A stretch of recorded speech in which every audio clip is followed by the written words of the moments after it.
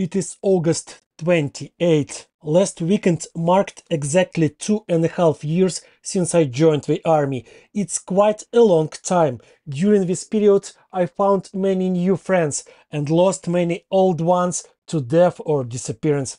During this time, my parents became refugees, my brother turned into a traitor, and I started and almost gave up on making a podcast. I've been on many fronts, hit from shelling in Bakhmut and saw the Russians fleeing from Kharkiv. So much has happened, so many people have died in these two years, so much pain and blood. I've also seen how the rhetoric of Kremlin agents in the West has changed. At first, they claimed that helping Ukraine was pointless, that it wouldn't last even a couple of weeks, and that the Russians would quickly seize the entire country when they screamed about Nazis, about terrible oppression of Russian-speaking Ukrainians that Putin was supposedly rescuing. Later, when it became obvious that the regions suffering the most destruction and deaths were those with large Russian-speaking populations, these creatures started scaring the world with the threat of nuclear war if Putin began to lose.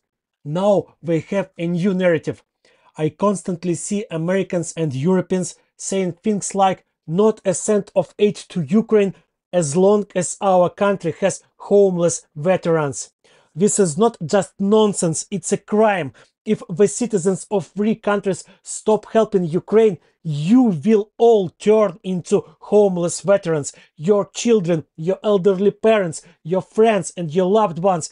If Ukraine falls, you will all either be dead or homeless veterans and you will consider yourself lucky if you become homeless veterans of your own national armies that have defended their independence at the cost of completely destroyed cities and enormous human losses because there is a high chance that you will become homeless veterans of the fascist Russian army. It is forming entire brigades of people from occupied territories. It does not care about the motivation or loyalty of such soldiers.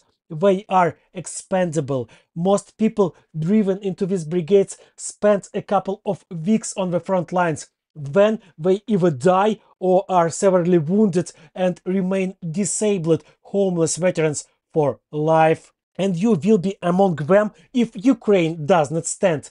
Putin will need a lot of cannon fodder for world domination, and he's delighted when another fool writes not a cent for Ukraine, because that fool is his potential soldier. Help Ukraine. Two and a half years of war is very long and very difficult, but we are holding on, and you should too. Believe me, it's much, much harder for us here.